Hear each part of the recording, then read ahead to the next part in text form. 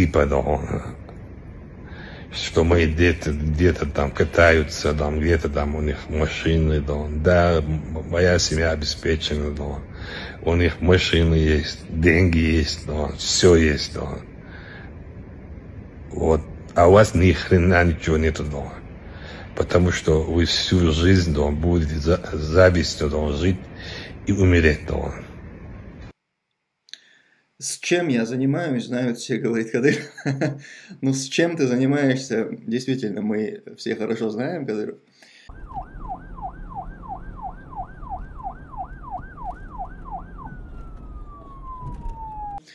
А, я понимаю, о чем он говорит. Он имеет в виду, а, они очень сильно ругали и продолжают ругать а, Анзора Масхадова, сына Аслана Масхадова, за то, что он во время войны оказался не в Чечне. И они всячески там постоянно не упускают возможности как-то укольнуть на эту тему. Вот, мол, почему тебя не было рядом с отцом. Постоянно говорили, упрекали этим Масхадова, а, нашего президента, что, мол, почему твои дети там не рядом с тобой. Хотя им было недостаточно того, что сам Масхадов находился в на, на нашей войне, в нашем лесу, там, в лесах э, все эти трудности войны переживал. Э, но они, тем не менее, вот, пытались его этим, с тем самым уколоть. И вот сейчас э, очень правильный вопрос задает Мухаммад Басаев. Где, говорит, твои дети, Кадыров, где твои дети, где дети ваших министров, ваших чиновников, Даудов, твои дети, где, где дети Делимханова, там, кто у вас там еще, где ваши дети, где вы сами, самое интересное. Масхадов сам был непосредственно на передовой, был вот в, в блиндажах, в окопах, в, там, как из окружений выходил, заходил и в конечном итоге был а, убит врагом, стал шахидом, иншаллах. А, а, ну, я, я сейчас не, в детали не, не вхожу, то есть кто именно его убил, понятно, что смерть была, а, наступила в результате того, что он был окружен и его убили бы враги. А вот вы сами в данный момент не находитесь на передовой, сами вы не воюете, и дети ваши тоже не воюют. И, и вот это вот серьезное как бы, противоречие тому, э, чем вы пытались упрекать Масхадова, вам бы либо самим оказаться на этой передовой, возглавить эту священную войну, как вы ее называете, либо отправьте туда своих детей хотя бы, чтобы они э, вас там представляли. Дырову очень не понравилось, что мы ему на это указали.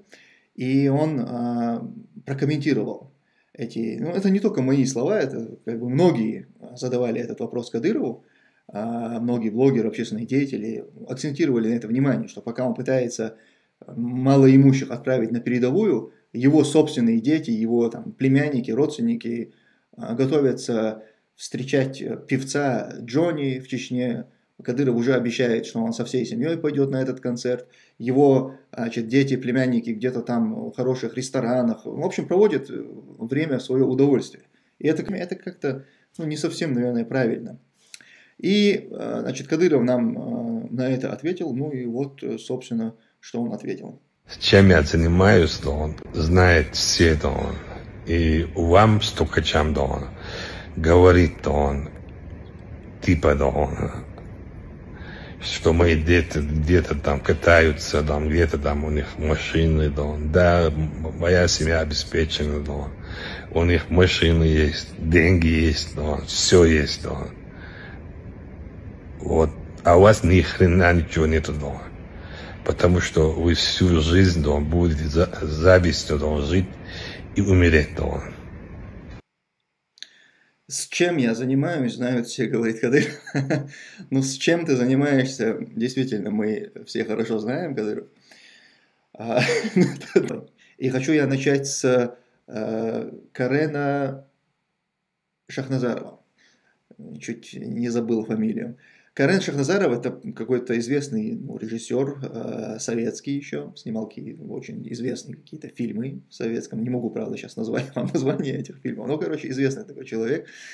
И он на передаче у э, Соловьева Владимира э, озвучил мнение, да, даже пожелание, оказалось, что он является зрителем ЧГТРК грязный, постоянным. Что я вам рассказываю? Давайте посмотрим, что сказал Карен Шахназаров.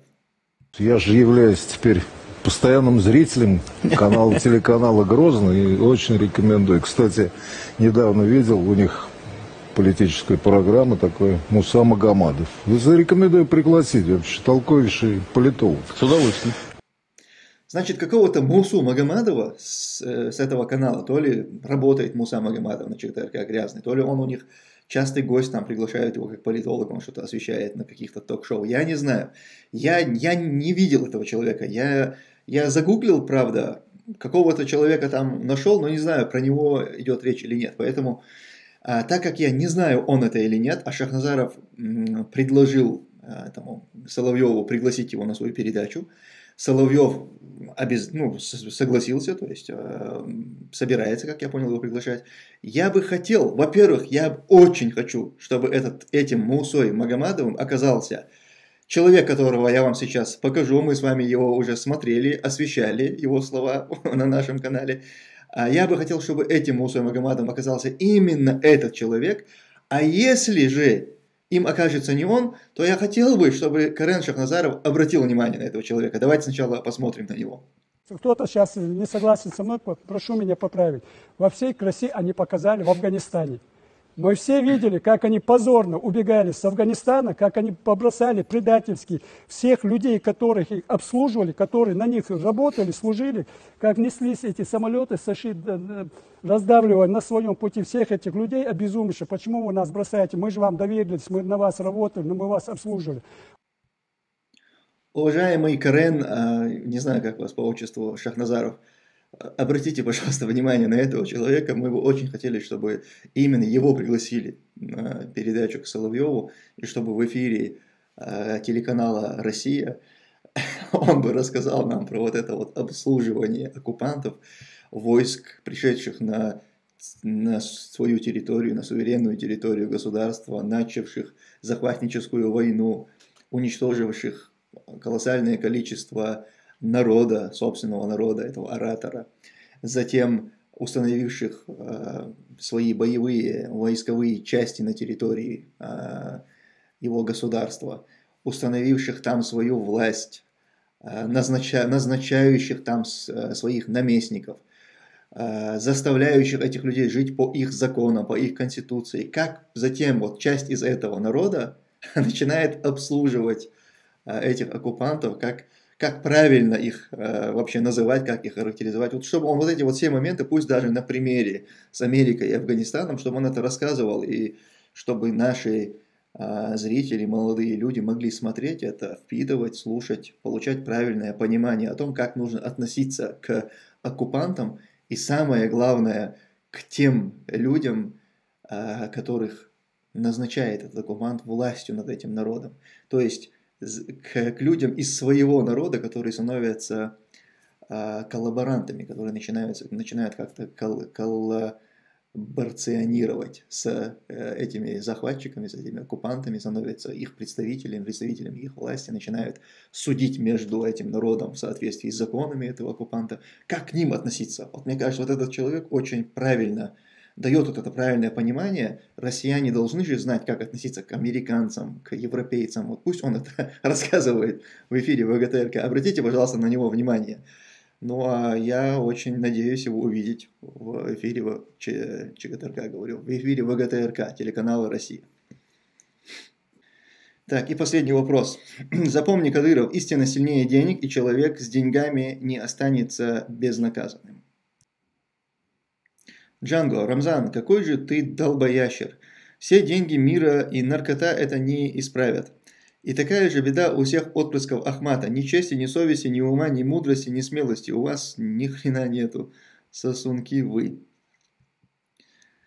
Немецкий солдат. Бро, э, если бы вместо этого долбича Кафырова Путину на глаза попался бы Асаб Бурсагов, интересно, Асаб выглядел бы достойнее или или доктора Кафирова уже никто не переплюнет в питье тормозной жидкости? Я не знаю, брат. А, это, это сложный вопрос.